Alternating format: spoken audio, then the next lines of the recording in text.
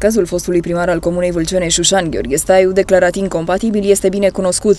În ciuda faptului că a avut două mandate pline cu realizări, el a fost nevoit să renunțe la funcție cu doi ani înainte de termen. În locul său a fost ales viceprimarul Gheorghe Constantinescu, care a primit atribuții de primar și care a spus de la bun început că acceptă funcția, cu condiția ca alături de el să rămână Gheorghe Staiu. De câteva zile, acesta din urmă a câștigat concursul pentru funcția de administrator public al localității.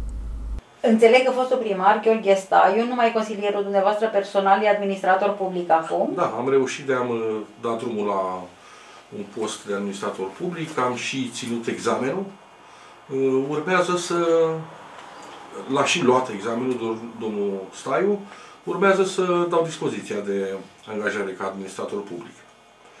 Am susținut să vină pe acest post, uh, aveam nevoie de dânsul pentru proiectele care le am în derulare să mă ajute, fiind administrator și consilier personal, m-a ajutat foarte mult în, în derularea proiectelor, dar nu avea drept de semnătură. Da, administrator Era mai încorsetat așa. Mă ajută mult mai mult.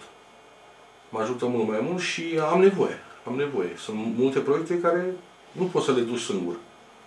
Mi-aduc aminte că de la început ați spus că n-ați fi acceptat funcția de da. viceprimar cu atribuții de primar dacă n-ar fi fost uh, Gheorghe Staiu alături. Da. Uh, era o răspundere prea mare, să o iau direct așa și singur. Uh, n-aveam nici cum să-mi aleg pe altcineva, mai priceput.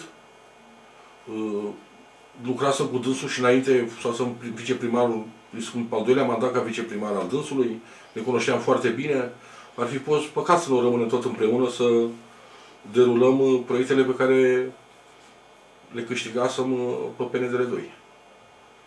Și proiectele care le avem depuse, pe CNI avem depuse, uh, pe PNDR 3 așteptăm și avem promisiuni. Se recunoaște, Gheorghe Staiu a fost un primar performant. Foarte performant. Un băiat foarte vrenic, în primul rând, și care nu l-a oprit nimic ca să facă treabă. Echipa de la primăria Șușan funcționează în această formulă de două mandate, cu rocada amintită, comuna numărându-se printre localitățile campioane în accesarea proiectelor pe PNDL 2.